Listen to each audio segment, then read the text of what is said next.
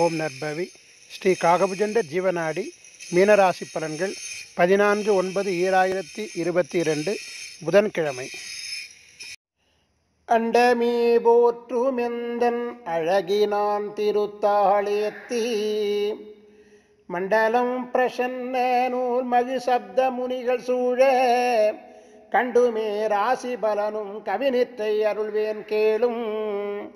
உலகமே போற்றிக் கொண்டிருக்கக்கூடிய எல்லாம் வல்ல இறைவனுடைய பொற்பாத கமலங்களை பணிந்து வணங்கி சப்த முனிவர்கள் எம்மை புடைசூழ அண்ட சராசரங்களுக்கும் ஆதி குருவாக விளங்கக்கூடிய ஸ்ரீ காகபுஜண்டனாகிய யான் இந்த குழந்தைக்குண்டான இன்றைய தினராசி பலன்களை யான் அருளுகிறேன். எனதருமை சீடனே கோரக்கனே கேட்பாயாக என்று குருவானவர் சீடருக்கருள் ஆரம்பிக்கிறார். மண்டலம் பாலதற்கும் உயர் புண்ணிய செயலும் உண்டேன் உண்டதே குருமாராசி உயர்புவி மூத்தோராசி. கண்டுமே குழவிகள் மூலம் கவின்மன நிம்மதி உண்டு. மண்டலம் பூர்வ சொத்து பெற்றிட வாய்ப்பும் உண்டு. கண்டிட வாகன பிராப்தி தன பிராப்தியுமே உண்டே.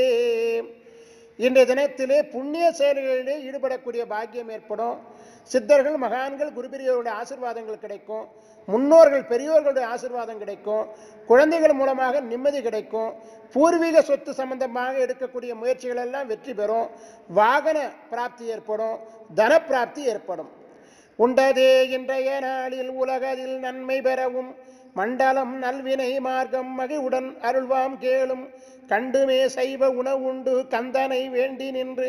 மண்டலம் பட்சி உண்டு ஈந்து மகிழ்செயலார்க்க முற்றே. இன்றைய தினத்திலே முற்பிறவில் செய்த ஊழ்வினையினாலே ஏதேனும் தொல்லைகள் வந்தால் அந்த தொல்லைகளிலிருந்து தன்னை காப்பாற்றிக் கொள்வதற்காக ஒரு சாந்தி பரிகாரத்தை சொல்லுகிறேன்.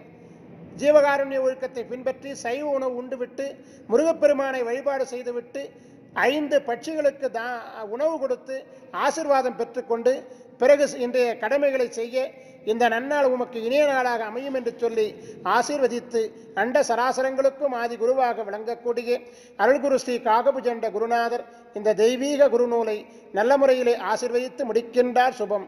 குருவருளாசிகள் அருளன்புடன் ஸ்ரீ பாஸ்கரே மகரிஷி. ஓம் நர்பாவி.